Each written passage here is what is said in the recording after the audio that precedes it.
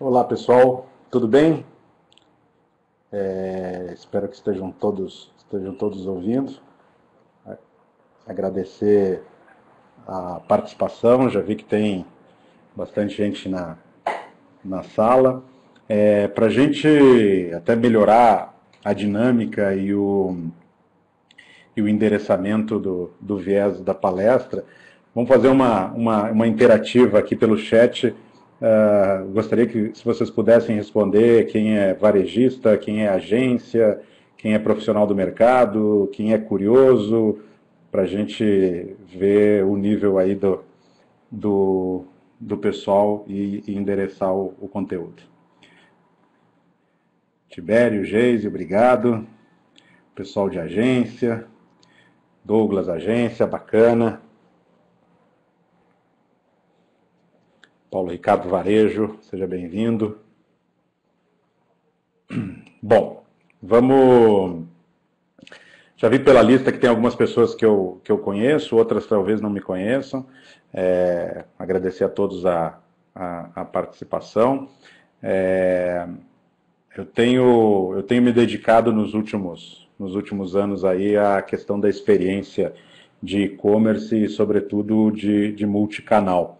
E, e, esse foi um, dos assuntos que, que foi bastante abordado agora em janeiro, na, na feira uh, eh, NRF nos Estados Unidos, uh, e que trouxe para a gente a consolidação de algumas, de algumas tendências que a gente acreditava e, e imaginava que iria seguir.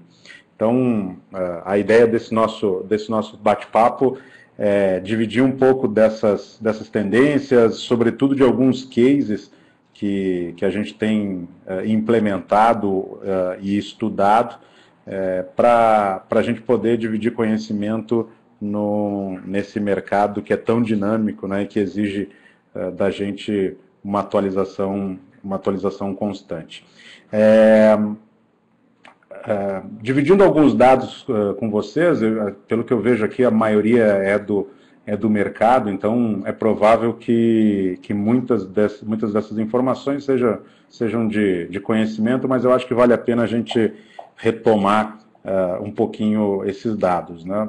É, nós estamos passando por um período de crise no país, o, o pessimismo em função da, da, da, do desempenho da economia é muito grande, mas para nós que trabalhamos no setor de comércio eletrônico, nós ainda estamos num setor que, que tem um ritmo de crescimento de dois dígitos e, e que não deve ser uh, tão impactado quanto outros, uh, outros segmentos da, da economia. Então, vocês podem ver aí no primeiro, no primeiro gráfico desse slide que a previsão do EBIT é que em 2015 o, o comércio eletrônico uh, fecha o ano com 43 bilhões de, de receita, de vendas, e com um crescimento de 20%. Né? Uh, num, num cenário onde o país não deve crescer, né, ou até eventualmente ter uma, ter uma, uma redução de, de expectativa de, de, de economia, a gente está num setor que vai crescer dois dígitos, vai crescer, crescer 20%. É, mais, mais à direita, as categorias de e-commerce mais vendidas. Acho que na apresentação acabou, acabou ficando pequeno, mas uh, uh, moda, acessórios e cosméticos são as, as grandes líderes, né? já, já ultrapassaram eletrodomésticos e livros há alguns anos. E isso também é, é algo surpreendente uh, em se falando de moda num país onde não existe um padrão de tamanho para roupas. Né? E a gente vê hoje uh, companhias uh, de comércio eletrônico focado em moda uh, liderando o e-commerce o e-commerce brasileiro. É, a evolução também dos, dos, dos e-consumidores segue o mesmo ritmo. Né? A gente deve, em 2015, terminar o ano com aproximadamente 63 milhões de e-consumidores, o que é um número é, é, é, bastante expressivo. De novo, peço desculpas pelo tamanho da letra, esse slide, é, essa apresentação é feita para painéis grandes e, e, e, nesse slide aqui ele está prejudicado, mas as, as, os próximos os próximos slides vão, são, são maiores e a gente não vai ter esse prejuízo. É, no, no, último gráfico à direita, no, no canto inferior, uh, o crescimento também da participação do, da, do mobile commerce, que é, é bastante expressiva, né? então, para é, varejistas que estão no comércio eletrônico e ainda não estão uh, dando uma experiência de, de mobilidade para os seus consumidores, isso uh, já está mais do que, do que na hora de ser, de ser implementado. Primeiro, porque o próprio gráfico mostra o crescimento da participação das vendas na, em smartphones e tablets. É, e segundo, porque quem, quem acompanhou aí as uh, recentes notícias do todo-poderoso Google, uh, o Google vai começar, uh, ou já começou, né, privilegiar na sua busca de, de smartphones sites que tenham uma experiência específica de, de mobile. Ou seja, é, o, o, mobile não é mais um, um diferencial há bastante tempo e começa a ser um pré-requisito para quem pretende competir no, no mercado. Para quem sofreu aí com, com as letrinhas pequenas, a partir de agora é, não devemos mais ter, ter, ter letras pequenas. É, é, essa, é uma, essa é uma pergunta, né, ser ou não ser omnichannel. É, é uma pergunta que muitos varejistas nos fazem é, Brasil afora pelos, pelos eventos que a gente que a gente participa, eventualmente palestra, né? Se se o varejista deve ou não seguir para essa para essa nova disponibilidade ou nova arquitetura de negócio.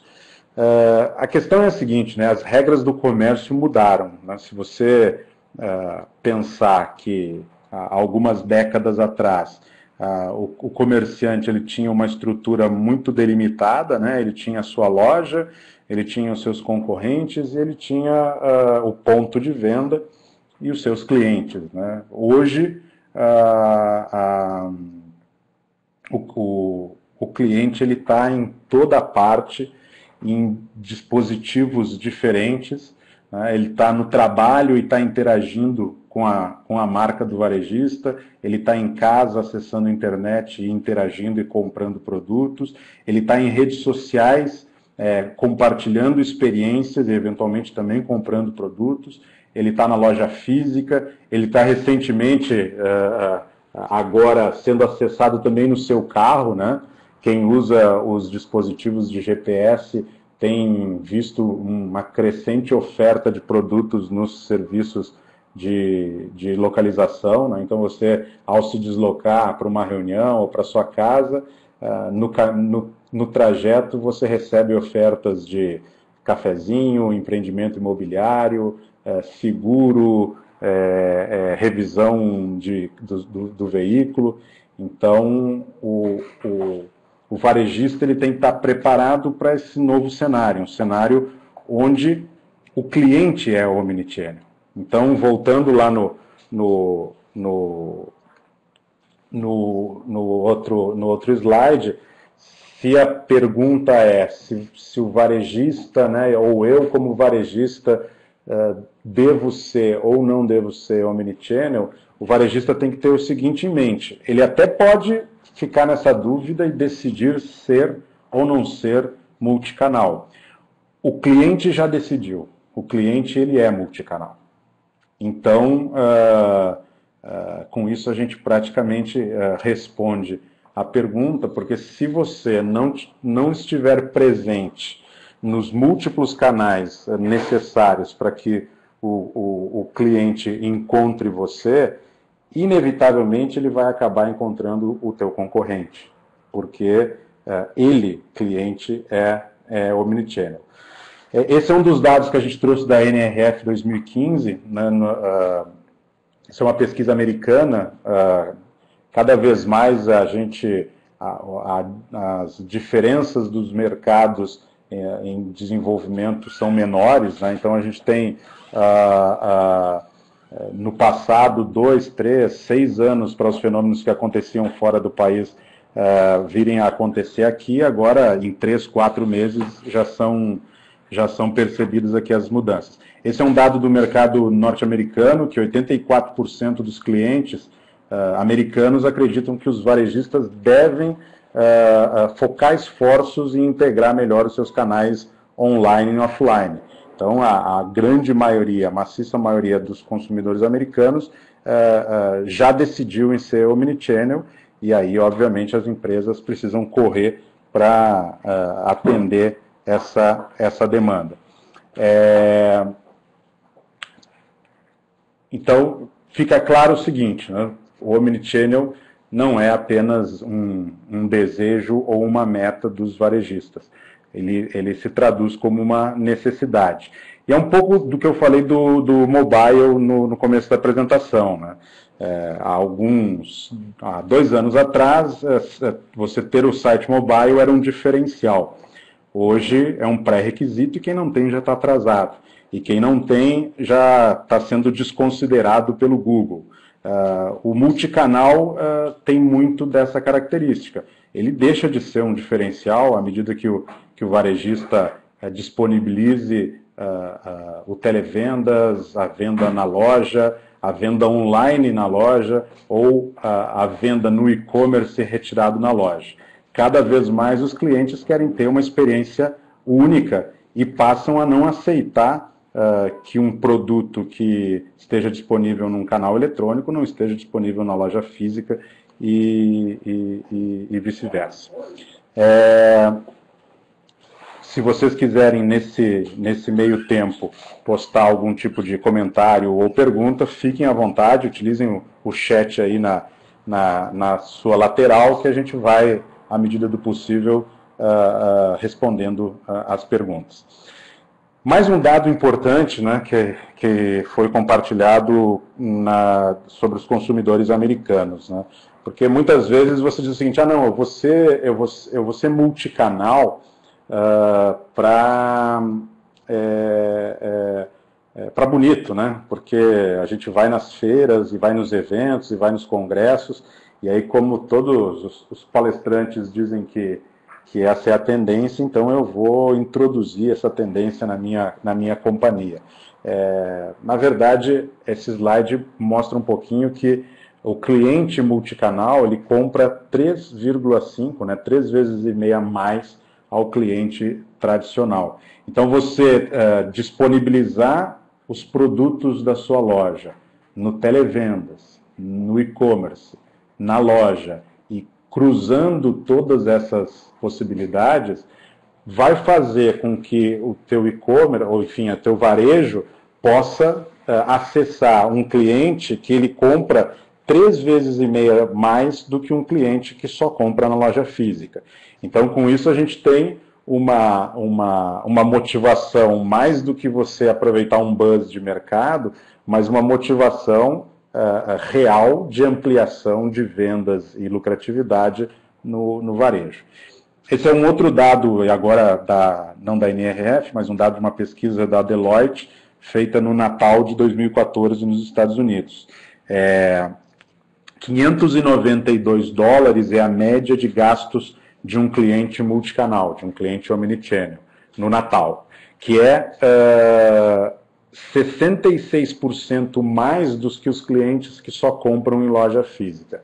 Então vejam, né? É, é, se você é um varejista que tem a possibilidade de oferecer os produtos pela internet, pelo, pelo, pelo smartphone, pelo televendas, pela loja física, e você propicia que o teu cliente compre em qualquer um desses canais e tenha opções de, de receber o produto em casa ou retirar o produto na loja, é, é, você tem na mão um cliente que uh, nos Estados Unidos, por exemplo, no Natal, gastou 66% mais do que um cliente que só frequenta uh, a, loja, a loja física.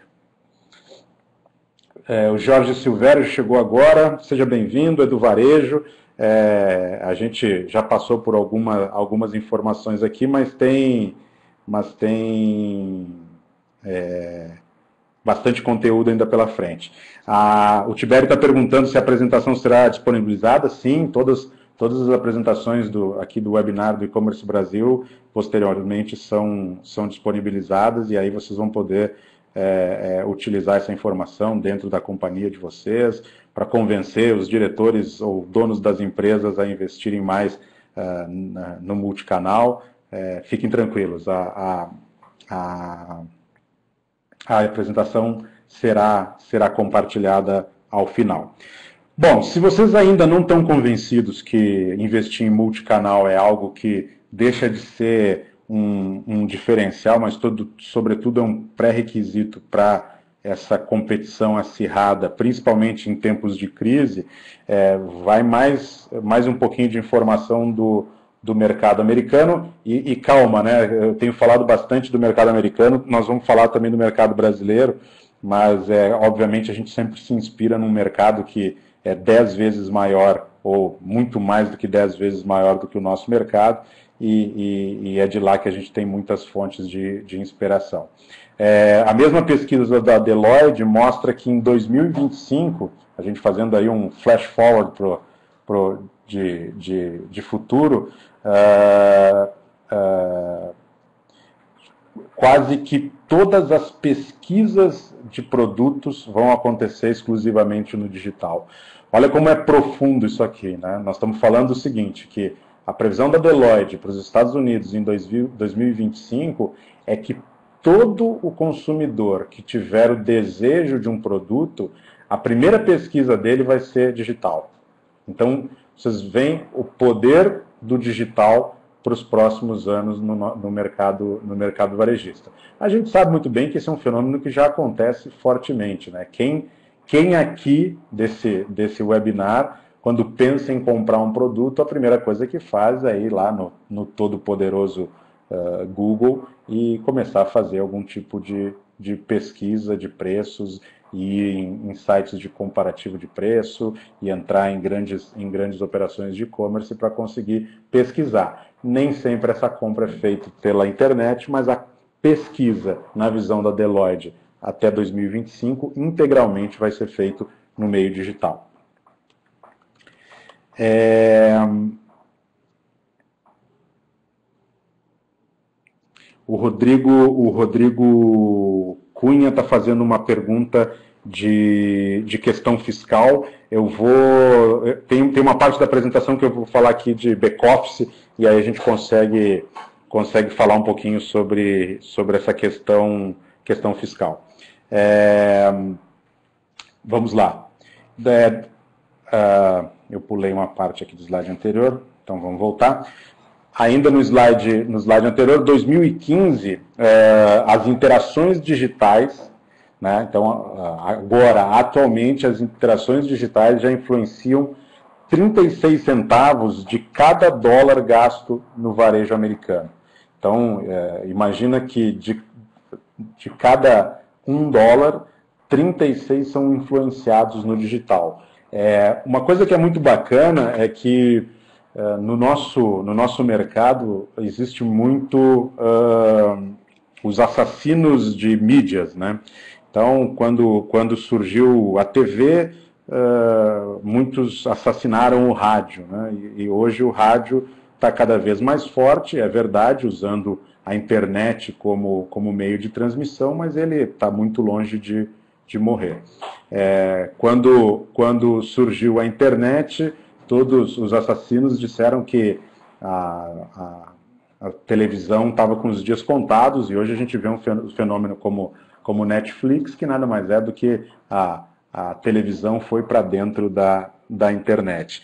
E há, e há alguns anos uh, existiam alguns ditos especialistas que profetizavam que as lojas, uh, que as lojas físicas iriam morrer, né? que, todo, que todo o comércio seria feito de forma digital. É, o que a gente percebe agora com essa, com essa evolução aí de multicanalidade é que a loja física está cada vez mais é, importante na, na experiência do cliente. É, e por outro lado, essa informação do slide de 2015 mostra que o digital ele é um poderoso influenciador do, do comprador uh, uh, no varejo. O que significa o seguinte, né? nem o céu nem o inferno. As lojas, as lojas físicas não vão morrer, elas estão cada vez mais fortes.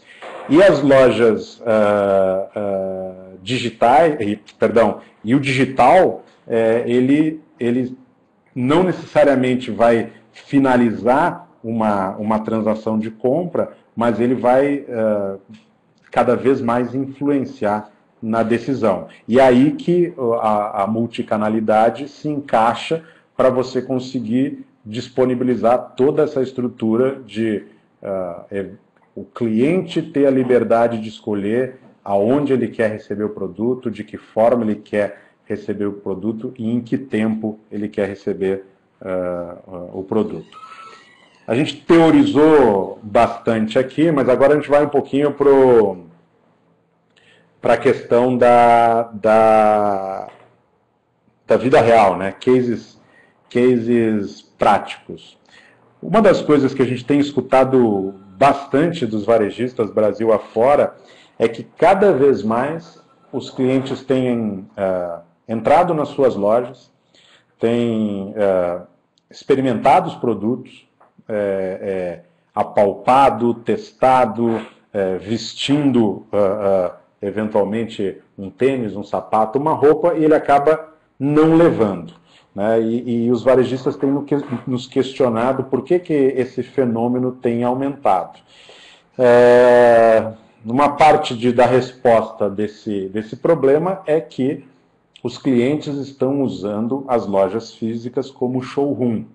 Eles experimentam, eles testam, eles vestem e depois eles buscam uh, melhores preços na internet. Por quê? Porque eles acreditam que uh, na internet, no e-commerce, eles encontrarão condições melhores. Então, é, veja que aqui a gente já tem. Uh, o Tibério está tá dando um feedback que o áudio está falhando. Mais alguém está com problema de, de escutar? Que às vezes pode ser, Tibério, a conexão aí do teu lado. Vamos ver. Não, está ok, normal para mim, não, por aqui está beleza. É, Tibério, talvez seja. É, esse, esse, é um dos problemas dessa tal internet, né? Como, nós, como uh, a rede tem uh, milhões de pontos de intersecção, pode ser que seja um problema aí na tua ponta. É, o Lucas está dizendo que está falhando um pouco, então também, mas eu acho que pela, pela grande maioria aqui, o pessoal está tá conseguindo escutar bem. É, bom, vamos, vamos adiante, vamos ver se eu vou falar um pouco mais devagar, que aí com o corte talvez a gente não, não vá perder tanto, tanto, tanto conteúdo.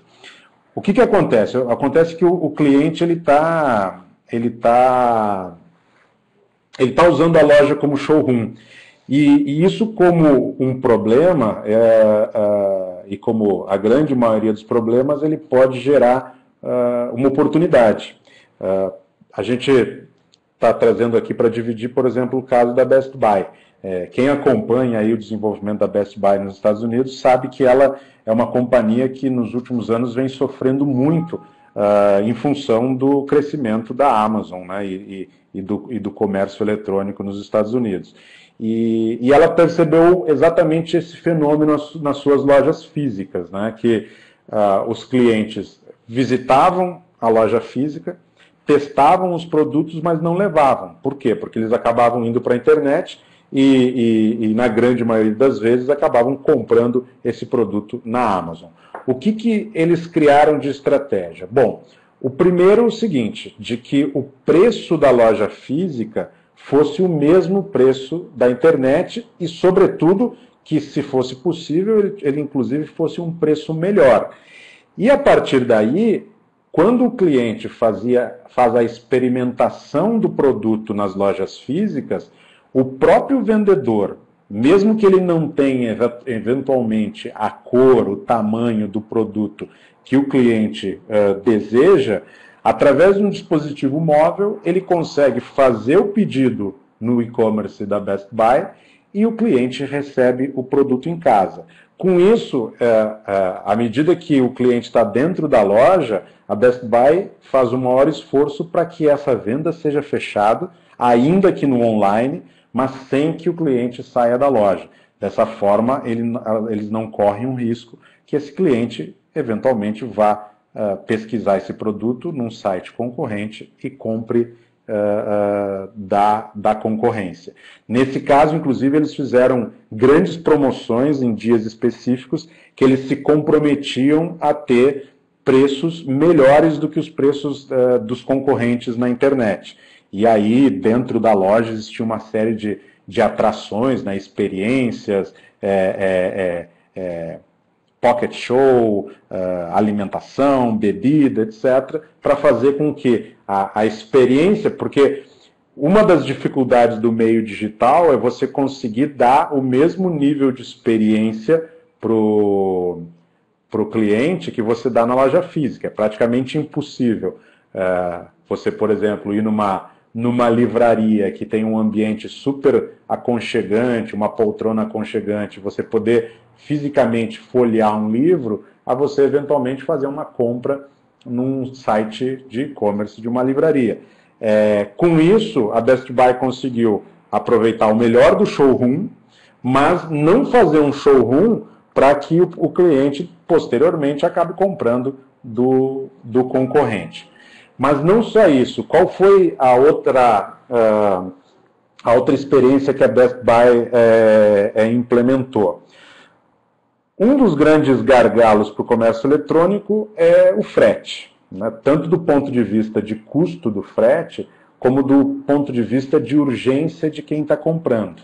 Né? A, gente, a gente vê principalmente em datas comemorativas aquele estresse das grandes operações de e-commerce para conseguir uh, entregar os produtos no, em tempo, né, no prazo prometido. Uh, por outro lado, o frete ele é um, um custo que ou uh, onera o, a, a, margem do varejista, né, ou acaba sendo agregado no, no, no, preço do produto e onera o, o comprador. A Best Buy fez as, as, os pickups de e-commerce. Esse é um exemplo legal porque, é, como é uma loja é, que tem é, um estacionamento, é, inclusive o, o, o, local de retirada dos produtos é na, na rua. Alguns especialistas em varejo criticam isso porque dessa forma você impede que, que o cliente entre na loja para retirar o produto e aí já a, a, eventualmente você consiga vender mais alguma coisa para ele ou ele enxergar mais uma coisa que gostaria de comprar. Por outro lado, do ponto de vista de conveniência, vocês percebem que o cliente compra pela internet, encosta o seu carro uh, uh, na, na, frente da loja, pega o produto e vai embora. Uh, isso resolve um custo, que é o custo de frete, que é bastante importante no comércio eletrônico, e também resolve a questão do, do prazo, né? porque este, este, este tipo de venda utiliza o estoque da loja e aí o cliente, alguns minutos depois da compra ter sido aprovado, o pagamento ter sido aprovado, ele pode já uh, passar na, na, na loja e retirar e retirar o seu, o seu produto de maneira, de maneira rápida. É, vindo um pouco para o Brasil, a Saraiva está implementando fortemente esse, esse modelo de multicanal aqui no Brasil. Então, hoje já é possível comprar no e-commerce da Saraiva e, e, retirar na loja. Uh, já está em fase de implementação também o reverso disso, que é você comprar uh, por um dispositivo de um vendedor numa livraria e receber pelo e-commerce em casa. Então a gente percebe que é uma tendência de grandes varejistas, tanto uh, nos Estados Unidos como agora aqui no, aqui no, no, no Brasil. É...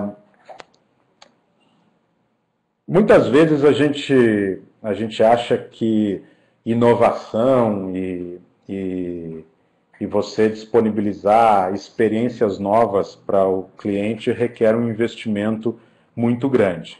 É, é uma ilusão, é claro que, que mudanças em modelos de negócio não precisem de investimento em software, em treinamento de pessoal, em mudança de cultura da empresa, mas muitas vezes as mudanças elas estão elas estão muito próximas e elas custam quase nada.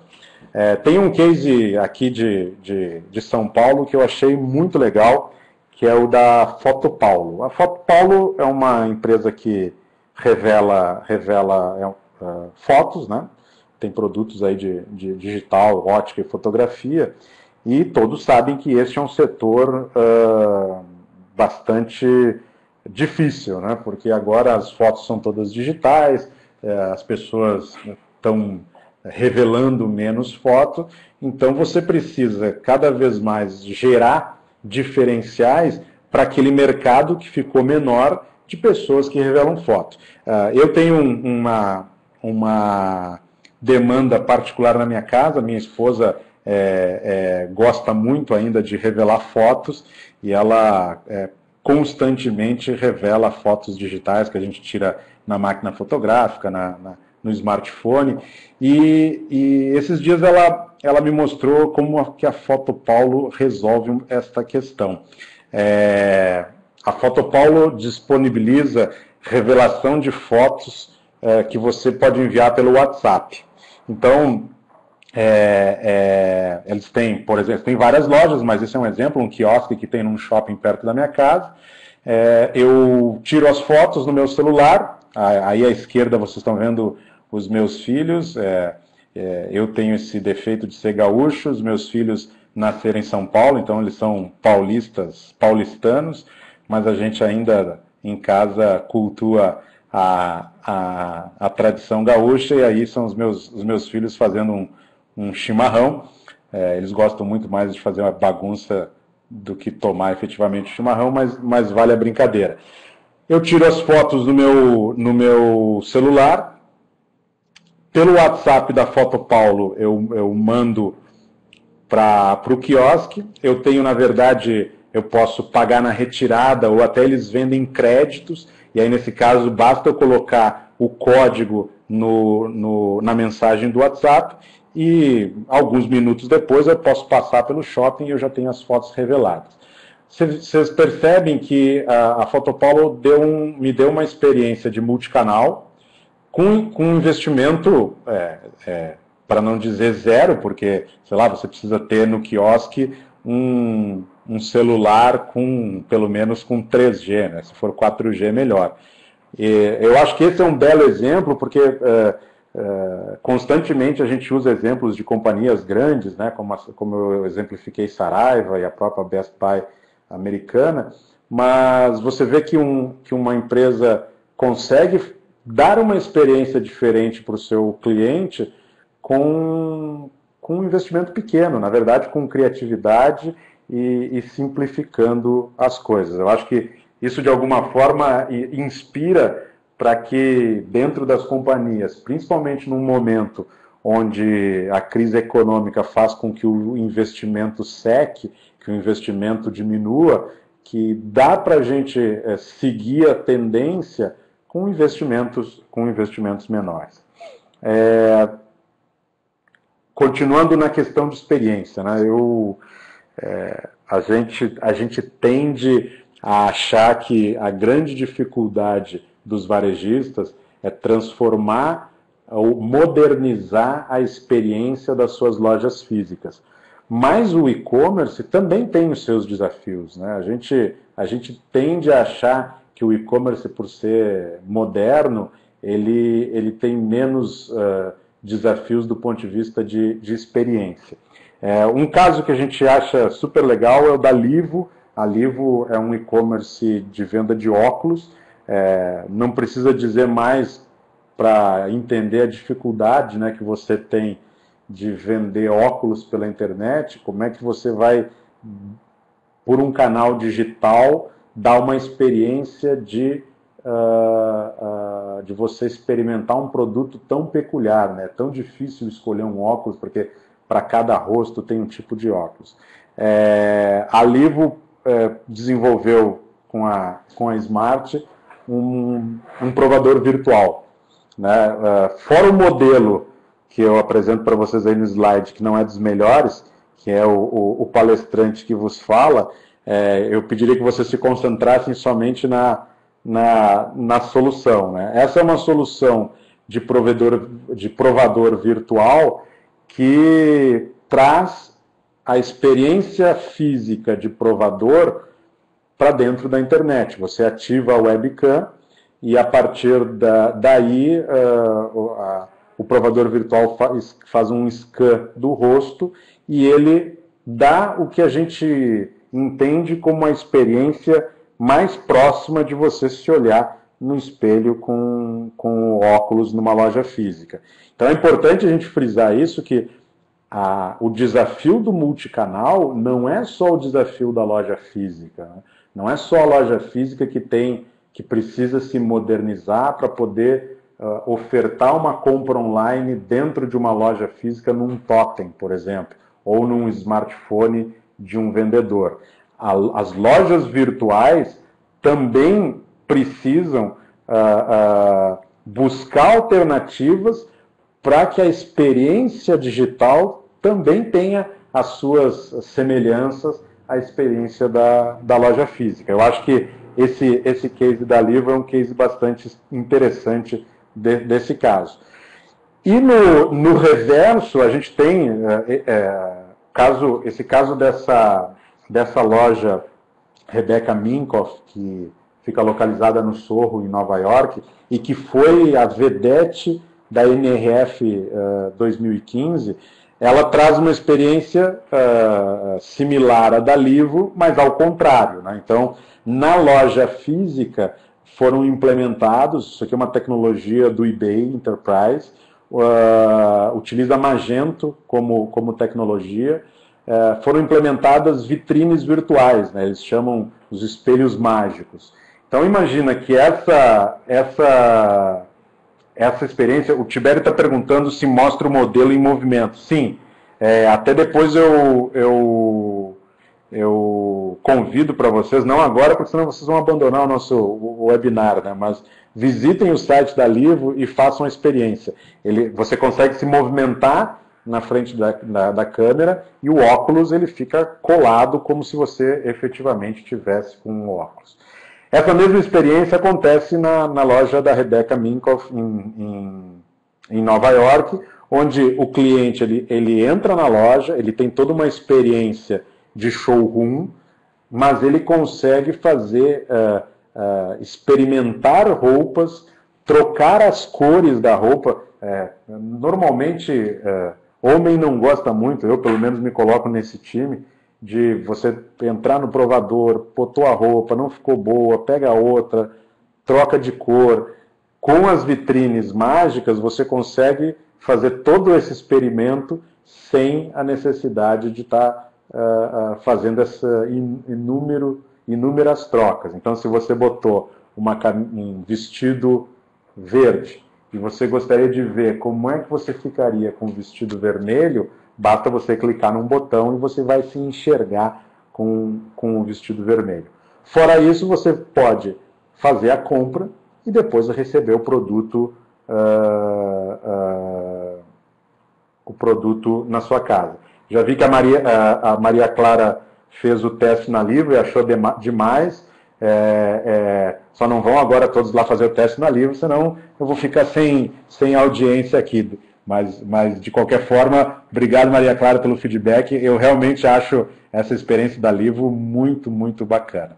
É, essa questão das vitrines virtuais, elas são muito interessantes, porque nesse caso, elas estão colocadas dentro de uma loja.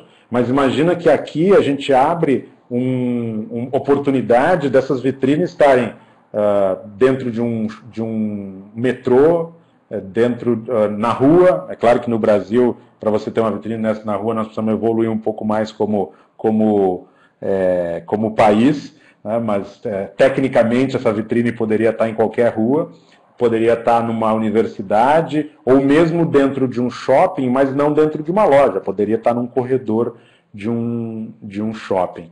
E, e isso abre possibilidades bastante grandes. Agora a gente já está negociando com um varejista brasileiro para trazer essa experiência para o Brasil.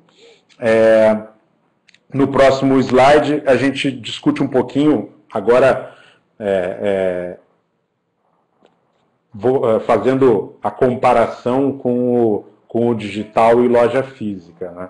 uma das coisas que fascinou os, os varejistas com o advento do comércio eletrônico são as métricas. Né? Dentro da internet você consegue medir, se não tudo, né? se não 100%, mas muito perto de 100% de tudo que você faz. Isso é maravilhoso, né? porque você consegue é, ter uh, o, o, o, perfil do, do cliente, você consegue fazer o cálculo do retorno do investimento de marketing, você consegue ter, do ponto de vista de informação, muita, muitos dados que no passado, nas lojas físicas, nas lojas tradicionais, era praticamente impossível de se ter. Só que essa, esse fenômeno deixou, deixou né, os, os, analistas mal acostumados. E aí surgiu, surgiu um problema, que era aquele consumidor que quando estava no website, no e-commerce do varejista, o varejista sabia absolutamente tudo sobre ele e podia construir uma página é, é, relevante para os desejos daquele consumidor não só levando em conta o histórico de informações que ele deixa na loja uh, virtual, mas levando em conta todo o histórico de navegação através dos cookies, cruzamento de informações com redes sociais, né, o que modernamente hoje se chama de, de, de Big Data. É, o problema é que esse mesmo consumidor, quando ele entra numa loja física, ele, ele não é ninguém, né? Nós não sabemos quem ele é. Ele pode entrar na loja, ele pode uh, ser o melhor cliente da loja online, mas os vendedores, o gerente da loja não sabe. Então a Macy's agora está fazendo uh, uh, experiências com iBeacon, são, são experiências bem legais. É, até aproveito para convidar vocês todos para o Fórum E-Commerce Brasil, que vai trazer cases uh, uh, super interessantes de, de Omnichannel. Acho que vale a pena quem não se inscreveu, se inscreva. É, a Mace está testando a, a, tecnologia de iBeacon. Na verdade, o que, que ainda tem um, um, um, gap na tecnologia porque você precisa estar com o aplicativo ligado. Né? Se você não tiver com o aplicativo ligado, é, a gente ainda não conseguiu descobrir uma forma de reconhecer quem está acessando a loja. Mas a partir do aplicativo ativado, quando você entrou na loja, a gente consegue, através do aplicativo, identificar qual o histórico desse cliente, tanto na loja física como na loja virtual, e a partir daí gerar uh, uh, promoções e, e, e indicações de produtos específicos para o, para o perfil. É, isso, é claro, é sensacional, né? Imagina você entrar na loja e não ter uh, que responder para um vendedor o que, que você está procurando, o que, que você gosta, que tipo de compra você faz. É, a gente sempre faz um disclaimer que uh, esse tipo de tecnologia tem que ser usado com moderação, porque eventualmente você acaba sendo muito invasivo. Né? Imagina se todo mundo começar a usar isso, você vai deixar o aplicativo ligado, vai entrar num shopping e vai enlouquecer, né? porque você vai ser torpedeado de tanta oferta e, e, e, e tentativa de trazer você para dentro de um, de um ambiente de loja física. Mas, sem dúvida, esse já começa a ser um caminho para você conseguir juntar a informação que você tem no online para poder dar uma a melhor experiência offline para o cliente que acessa a loja, a loja física. É, bom, a gente tem uh, aí mais uns 15 minutinhos que eu queria, queria também abrir para vocês perguntarem. Mas de tudo que a gente tem visto aí em, em, em visitas que a gente faz a grandes varejistas, a eventos, enfim, uh, é, nessa caminhada que a gente tem Brasil afora e, e mundo afora, o que, que a gente pode esperar para os próximos anos e que vocês, como varejistas ou agências que atendem o mercado varejista, podem é, é, dividir com seus clientes ou com seus diretores, donos de empresa, para planejar e se preparar para o futuro. Parece ser irreversível a questão do, do omnichannel, né? então existe uh, uma crença muito forte que o omnichannel vai, vai se desenvolver, e eu acho que a principal resposta é a que a gente começou essa apresentação, que é uh, uh, o cliente já escolheu o seu omnichannel. Né? Hoje, é, de, provavelmente, cada um de vocês que está aqui nesse webinar é, acessa e compra produtos de forma diferente. Né? É difícil separar, não, eu sou um consumidor omnichannel e eu sou um consumidor offline.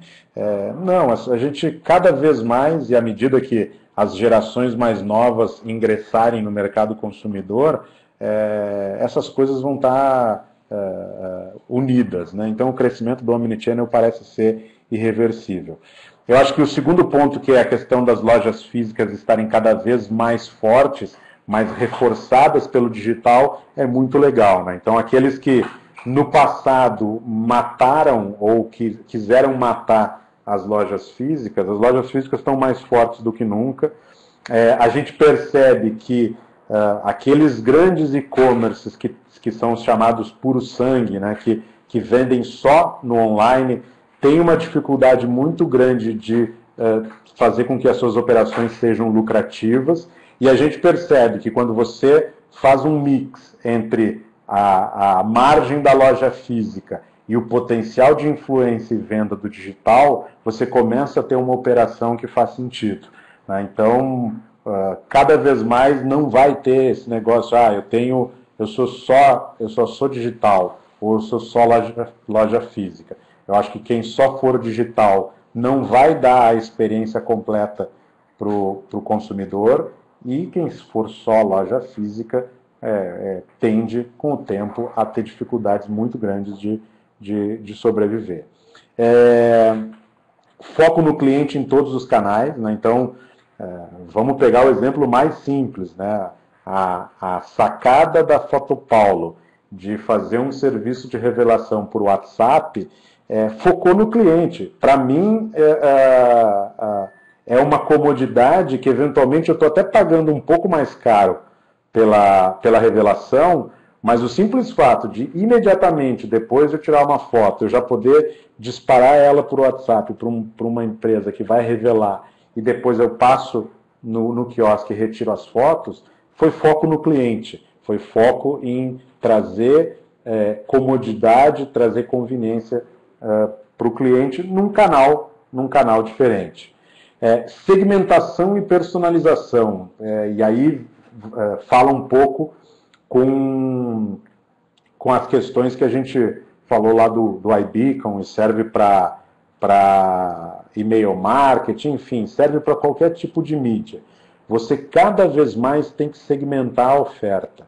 Num, num cenário onde a gente tem um número infindável de informações sobre o nosso cliente, não faz sentido você mandar uma oferta inadequada para um cliente. Eu sou um, um, um pai de família que tem filhos pequenos, eu receber um e-mail marketing do bloco Camaleão de Salvador, é só para eu passar raiva. Né? Porque até eu gostaria de, de ir, né? não tenho mais idade para correr atrás, nem físico para correr atrás do trio, e a, e a, a, a relevância dessa mídia é zero para mim. Agora, se eu receber oferta de pomada para assadura, de fraldas que não vazam, eu sou target. E aí promo essa promoção ou essa divulgação, ela tem relevância e aí a segmentação e a personalização fez a diferença. Então, cada vez mais, através do Big Data, segmentação e personalização uh, uh, vai ser uma tendência. E múltiplos dispositivos. Né? Aqui, quando a gente está falando de múltiplos dispositivos, é, Smartphones e tablets não são mais diferencial. Uma, qualquer varejista que queira concorrer nesse mercado acirrado, é, de largada precisa ter uma experiência específica para smartphones e tablets.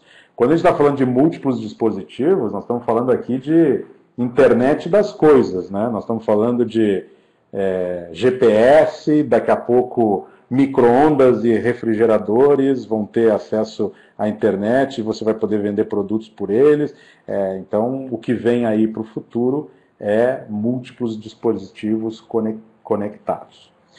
Bom, vamos lá, eu acho que a gente já tem algumas perguntas, vamos ver se, se eu não, não, escapou, não escapou nenhuma. É, o, o Tibério Lemes tem também uma ideia para transcender esse limite de experimentar roupa? Não, isso não era uma pergunta, desculpa, Tibério. É, Daniel Vargas, é, quais impactos desse cenário para o planejamento de marketing? Vamos migrar um planejamento único ou as empresas continuarão brigando internamente por mídia on e off? Daniel, é, é muito obrigado pela, pela pergunta.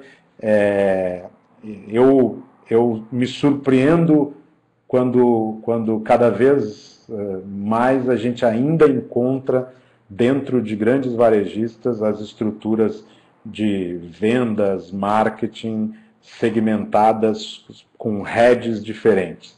É, eu, na minha visão, acredito que em poucos anos uh, quem continuar nessa estrutura vai ter dificuldades de competir. Porque. E aí, por isso que a gente fala que é, muitas vezes o investimento tem que ser feito em, em tecnologia, em software, mas é necessário investimento em cultura. Quando você ainda tem é, choque de canais e, e, os canais concorrendo internamente dentro das empresas, é, um modelo desses não tem como dar certo. É, a, gente, a gente vive e viveu bastante é, na questão do, do multicanal, quando você, é, quando você lançava no varejista o e-commerce, o vendedor da loja uh, fi, ficava com a sensação que ele estava sendo uh, uh, colocado para trás. Quantas vezes você ingressava numa loja e aí você dizia, ah, posso eh, eh, posso comprar esse produto pelo site de vocês? E o próprio vendedor dizia, é, ó, o site não funciona direito, é, aí vai demorar para entregar, etc. Quando, na verdade, deveria ser o contrário, né? Ele dizia, não, vamos, vamos inclusive, você vai experimentar o produto aqui na loja e se você quiser comprar, nós fazemos a compra online aqui. Mas qual é que é a chave desse negócio que é bastante simples? Pagamento de comissão. Então, o, o, o vendedor ele tem que receber a comissão, e, e eu estou falando do vendedor, mas pode ser um franqueado, um representante, um distribuidor, porque a partir daí você integra uh, os canais e mais do que isso, você faz com que uh, você não tenha fogo amigo dentro da companhia. Muito, muito motivador desse tipo de conflito, Daniel, é exatamente uh, os plan o planejamento de marketing, a verba de marketing e a, e a gestão eh, dentro das companhias terem esse conceito de online offline. Na minha visão, isso é algo que, que, que tem que acabar, que as empresas que, que ainda trabalham com isso separado, elas terão dificuldade de, de avançar no omnichannel. É, Adriana Prado, como você enxerga a questão omnichannel relacionada às soluções de, em CRM integrados? Acredita que seja uma boa maneira de engajar os diversos interlocutores? É, é, Adriana, hoje a gente tem, na verdade, muita informação disponível, mas ainda uma dificuldade muito grande de é, organizar essa informação, e aí o CRM vem para ajudar, mas mais do que isso, né, conseguir tomar decisão em cima da informação. E, e ainda que os softwares uh, ajudem, ainda a decisão e a leitura dos dados é, é, é, tem a necessidade, talvez isso seja bom, né, porque gera mercado para todos nós, mas tem a necessidade de uma tomada de decisão humana. Já existem softwares que é, dão para você uma tendência maior e ajudam na decisão, mas a última decisão não adianta, tem que ser do, do gestor que está que está na ponta. Eu acho que é, o grande desafio que a gente tem do lado de tecnologia é conseguir integrar todas essas ferramentas. Então, uh, hoje, por exemplo, aqui na Smart, nós, o nosso carro-chefe é plataforma de comércio eletrônico. Mas hoje a gente já tem mais de 30% das das, das, das, pessoas da área técnica, elas são especialistas em integração com, com sistemas de terceiros. Porque, porque cada vez mais a gente precisa ter todo o ecossistema uh, integrado. E aí eu não estou nem falando só do básico, que é uh, uh, os, os, meios de pagamento, os meios de combate à fraude, o, os sistemas de logística. Estou falando exatamente de CRM, BI, é, é, é, é ERP, para que você consiga, através de uma, de uma integração de todos esses dados, de um lado, como varejista, tomar as melhores decisões do ponto de vista de gestão e, do lado do cliente, ser o mais assertivo possível na oferta e na segmentação para aquele cliente. Não tem coisa melhor do que você, uh, uh, independente do tamanho da empresa, ser tratado pelo nome e, e, e, e você perceber, ainda que, que tenha sido uma oferta construída em cima de eh, ferramentas, softwares, mas o que está sendo ofertado para você é adequado. Né? Dei com, de uma forma é, é, brincando, de, fiz a comparação aqui do, do, do bloco de, de Carnaval de Salvador e da, e da pomada e da fralda, mas é exatamente isso. Isso é um exemplo de um bom, um bom aproveitamento de, de estratégia de CRM com, com o comércio eletrônico.